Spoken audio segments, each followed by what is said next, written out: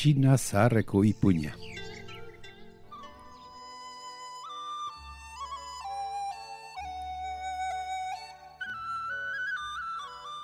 Azeria eta tigrea.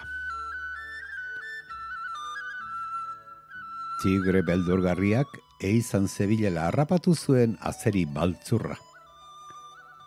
Ezin egian, esan zion azeri maltzurrak.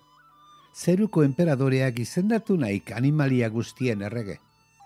Jaten banaik, zeruko enperadorearen agindua utziko duk. Ez badidak sinesten atornirekin.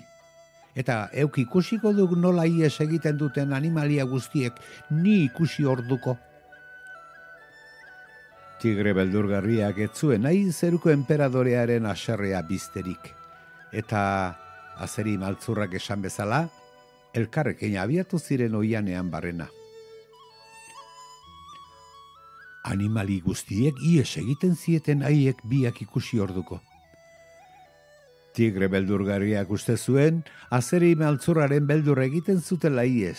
Eta etzen ohartu ere egin, tigre beldurgarriaren beldur egiten zutela.